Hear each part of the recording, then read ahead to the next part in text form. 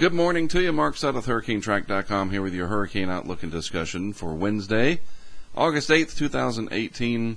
Not a lot to talk about in the Atlantic Basin, but boy, the Pacific is certainly busy. We have Hector out here, which is going to pass well to the south of Hawaii with minimal impacts. It won't be a zero impact event, but it certainly won't be that much of an impactful event either. We'll look at that in more detail in a moment. Tropical Storm Kristy sandwiched in between Hector and then John over here to the east. And then in the Atlantic, this is now fully tropical, meaning that the wind field and the convection and everything is tighter, closer to the center, more tropical in nature. And this is Tropical Storm Debby, way out in the North Atlantic. That's really, that's a sign right there that this area through here for now is pretty much dead uh, as a doornail.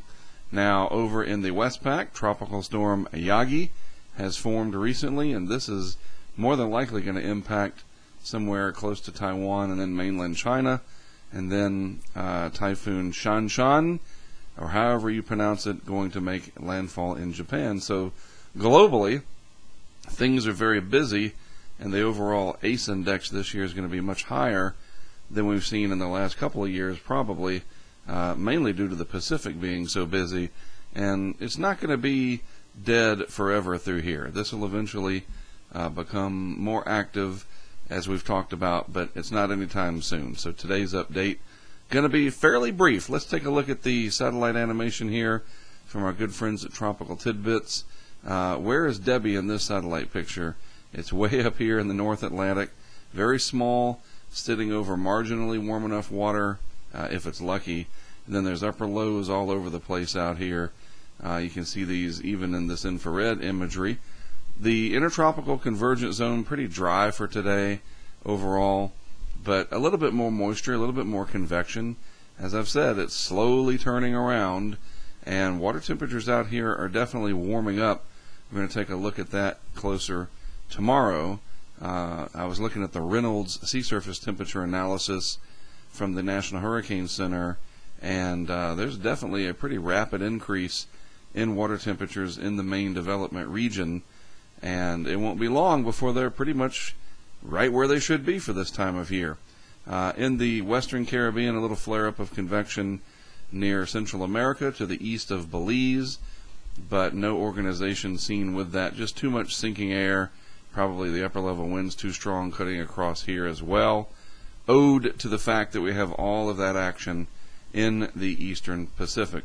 Another thing I want to point out, and this is certainly great news, very dry now for the most part, only scattered diurnal type thunderstorms. You know, they pop up at night, then they die off during the day, and uh, no organized areas. We don't have that big fire hose of moisture just ringing the bell of the eastern part of the U.S. right now with lots and lots of rain. We had that, but that's gone finally. Most of the Gulf of Mexico also free and clear of any convection. So, real quick, looking at Debby's track here over the next few days, it'll eventually dissipate and be just a remnant low and die out over the colder water of the North Atlantic. The remnant vorticity signature and storm system that stays over the ocean, though, will probably head over towards the uh, British Isles, and we'll look at that more tomorrow as well. Uh, and the water temperatures off in that area are also warmer than average. So we'll have to see what happens. Debby may be an interesting feature for parts of the British Isles. In the Pacific, there's Kristy trying to strengthen. If we click on it, you get an idea of the track. You should stay well out into the open Pacific and not bother anybody, as you can see there. And then John uh, fairly large system. Look at this, some cloud cover uh, coming up, maybe some monsoonal influence. Uh, you got you know a lot of moisture down here, and so some of that's come up out of northern Mexico. Uh, these are probably high clouds through here. Uh, I didn't notice any major um, flooding or anything like that. So, and you know what? I'm just gonna cheat real quick and open up another window and check the weather.gov site. And um, yeah, I mean that's you know nice and clear there in Arizona. If we look at the radar. I just want to confirm that it's kind of got past me. And we scroll down a little bit of rainfall here in southwest Arizona, uh, and some of that moisture coming up out of Mexico, but really not a big problem. Now, where were we? Right here.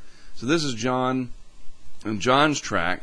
Uh, luckily, going to move away from the Baja, even though it's going to parallel that peninsula. So again, no major impacts to Mexico from these systems in the eastern Pacific. And then we get to Hector, and it's going to pass the core of Hector well to the south of the big island of Hawaii here. And there'll still be some effects, some of that strong northeast flow around the circulation, and we can see that pretty clearly here in the GOES West satellite imagery. Zoom in on this a little bit. Uh, Hector being uh, large enough to at least bring some high clouds now. Let's change the color. That'll be better. And may, maybe, just maybe, some rain showers on the southern and southeast part of the big island. It'll switch the wind direction around and push some of that uh, volcanic fog, they call it VOG, towards Hilo. Unfortunately, that could be a problem.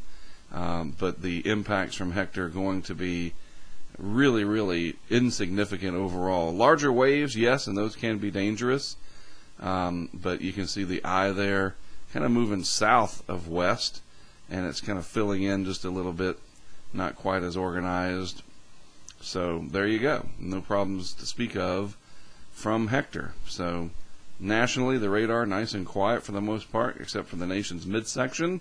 Heavy rains around Oklahoma City. I saw western Tennessee there and I really like this because today my family and I are headed up here uh, to the Crystal Coast area, the southern part of the Crystal Coast of North Carolina to Hammocks Beach State Park, and I like to see this nice and quiet. Uh, maybe it'll light up later in the day. It's going to be really hot, heat advisories all through this area. Uh, I love it. The summertime weather, hot, humid, afternoon convection. There were some storms off in the distance last night it was really neat to see. Uh, I'm just I love it. That kind of weather is exciting to me. I like calm, sunny days, but when the weather is you know interesting, it, it makes it more interesting. We'll just leave it at that. But at least the tropics are not that interesting in the Atlantic. I don't see any changes anytime soon, i.e., the next week to 10 days. So if you've got a cruise planned or you're going to Florida, a lot of people ask me, you know, in emails and on social media, hey, I'm going to Disney or I'm going to Tampa or I'm going to the Keys. How do things look? You know, for the next two weeks, uh, I don't see anything developing, to be honest with you, in the Atlantic. But then in September, I do believe things will change. We'll deal with that in September.